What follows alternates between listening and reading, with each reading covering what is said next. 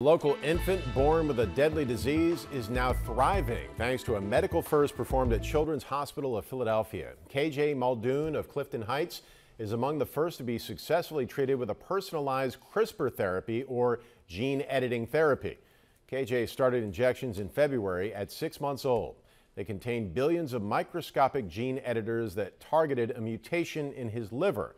Doctors say they are cautiously optimistic that the procedure appears to have corrected his defect. The drug is really designed only for KJ. So the genetic variants that he has are specific to him. It's, it's personalized medicine. What I think about the most is him achieving things that were considered impossible. Man, the day he walks into like school with a book bag on and we like let him go at the door.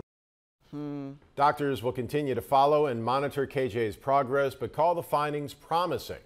Typically, patients with this type of deficiency are treated with a liver transplant, which is high risk. What an amazing story and beautiful baby.